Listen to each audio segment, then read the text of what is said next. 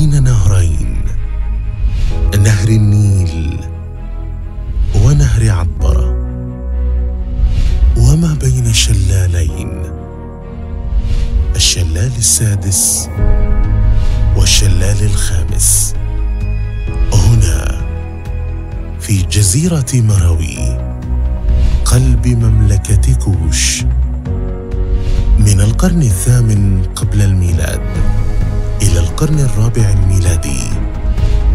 المملكة الأقوى والإمبراطورية الأوسع في زمانها والتي امتدت من البحر الأبيض المتوسط إلى قلب إفريقيا. المواقع الأثرية لجزيرة مروي تتكون من المدينة الملكية.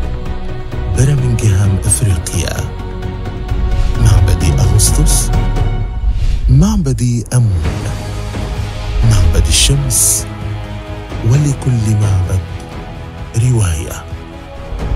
الحمام الروماني والحمام الملكي. مخلفات صهر الحديد لكثرة خام الحديد بها.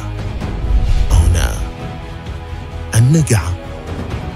عندما تتجمع المعابد معبد الأسد.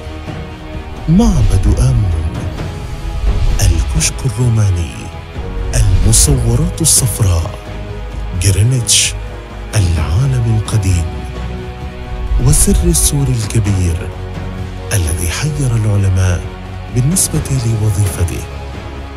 يعتقد البعض أنه كان مستخدما من قبل ملوك مروي لتدريب الأفيال على الحروب.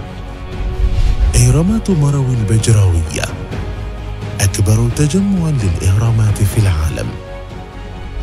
هي مدافن ملوك وملكات مروي ويفوق عددها المئة وأربعين هرما. ولكل هرم حكاية. الإهرامات والمعابد والقصور والمناطق الصناعية. شكلت المشهد السياسي والديني والاجتماعي والفني والتكنولوجي. للإمبراطورية لأكثر من ألف عام. تشهد هذه الهياكل المعمارية الأدلة على الإنتاج والتجارة بما في ذلك السيراميك والحديد على ثروة وقوة الدولة الكوشية التي تعد من أعظم الإمبراطوريات التي مرت على العالم. إنهم الكوشيون.